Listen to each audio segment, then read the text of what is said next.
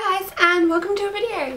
So I just wanted to tell you really really quickly that I am going to be daily vlogging from today. I have this camera and I've decided that one of, it was one of my New Year's resolutions that I'm going to vlog for an entire year. Um, I don't know after the year if I will continue daily vlogging or what I'm going to do.